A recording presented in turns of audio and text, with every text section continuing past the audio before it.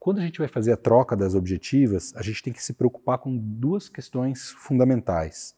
Uma delas é que o sensor não fique exposto durante muito tempo, porque isso pode, enfim, entrar poeira e grudar poeirinha no sensor, e isso pode, enfim, é, é, atrapalhar, porque vai aparecer na imagem, essas poeirinhas grudam no sensor, e, e com o tempo essas poeirinhas lá é, é complicado, você tem que mandar para revisão, para limpar sensor e coisa e tal, é sempre, é sempre um problema. Quando está numa produção muito longa, às vezes fora da cidade de origem, coisa e tal, pode ser ainda mais complicado, porque você não vai ter como levar a câmera para manutenção, enfim. E a outra questão é a segurança das objetivas. As objetivas de cinema é, os, podem ser muito caras, assim, podem ser equipamentos muito caros. Então a gente tem que tomar um super cuidado com eles, né? Então a gente tem que prezar pela segurança. Ainda há uma preocupação com a facilidade do, da agilidade do, do, do, do set, né? Então fazer as coisas de uma maneira rápida é, e eficiente para, enfim, economizar tempo do set. Quando a gente está sozinho e não tem um assistente, a gente, tem, a gente pode trocar as lentes, a gente tira as tampinhas já, a tampinha da câmera já antes, e eu vou, vou enfim, trocar aqui a...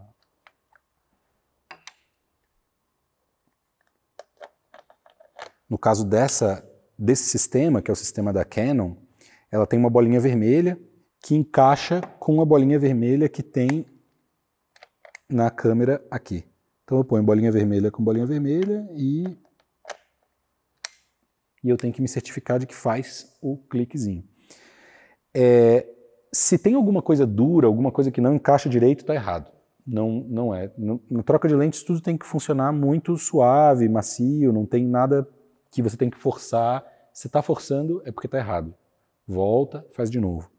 Tem outros sistemas, né? Esse é um sistema de, de baioneta, tem sistemas que você tem uma travinha, por exemplo, o PL, você coloca a, a, a câmera no lugar e você puxa uma travinha e trava a lente é, depois. Enfim, tem vários sistemas, cada, cada tipo de câmera, cada tipo de lente vai ter um sistema diferente.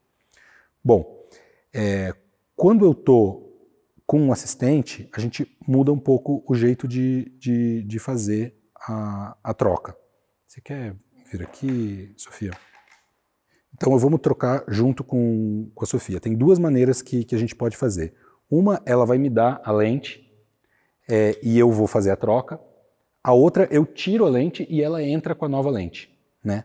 Uma das coisas que tem que se notar quando a gente vai fazer uma troca de lentes é qual diafragma que estava. Então, por exemplo, essa aqui estava em 5.6. Então, ela vai olhar o diafragma que estava, e vai ajeitar a nova lente no diafragma igual. Isso é importante. Porque, é, enfim, para a dinâmica do set, em geral, você vai continuar o que estava sendo usado na outra. Se for mudar, não tem problema, o fotógrafo vai mudar, mas enfim, você sabe que não, isso pode, é, enfim, mudou o diafragma, esqueceram de mudar, e aí foi com outro diafragma. Então, em geral, você tem, quer dizer, sempre você vai ter que olhar o, o diafragma da câmera e ela vai acertar. Então ela vai botar lá o diafragma em 5.6.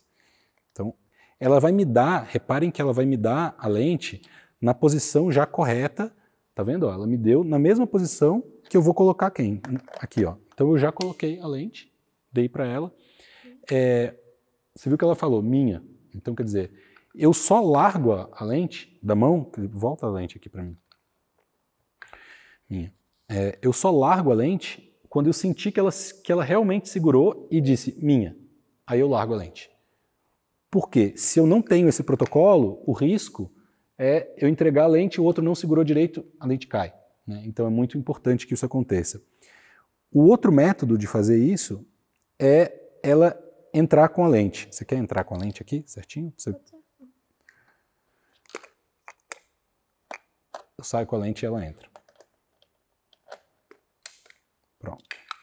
Tanto faz o método que você, que você utiliza. O método mais comum é esse é, do assistente me entregar e eu, e, e eu fazer a troca. É, esse outro método, às vezes, você tem que utilizar por N motivos, assim, porque durante o set está difícil, às vezes você está fazendo um documentário que precisa de muita agilidade, às vezes eu estou com câmera na mão, de um jeito que eu não consigo fazer a troca, então é mais fácil eu simplesmente tirar e vai ser mais rápido uma outra pessoa chegar ali e encaixar a lente.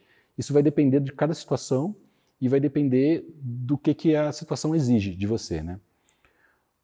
Importante sempre notar essa história de acertar o diafragma e quando você tira a lente, a lente que você vai guardar, você vai sempre é, zerar ela, ou seja, você vai botar o foco no infinito, abrir todo o diafragma, é, colocar a tampa correspondente da lente, então essa aqui é a 50 milímetros, eu coloquei lá a tampinha da 50 milímetros e a tampinha traseira 50 milímetros. E aí eu vou guardar no case de lentes correspondente, né? No lugarzinho, que deve ter lá um lugarzinho para ela, tipo eu coloco lá dentro. E assim a gente garante que que está tudo sempre organizado, né? Que as lentes estão estão certinhas no, no case, que foi trocado tudo com segurança e que está tudo certo.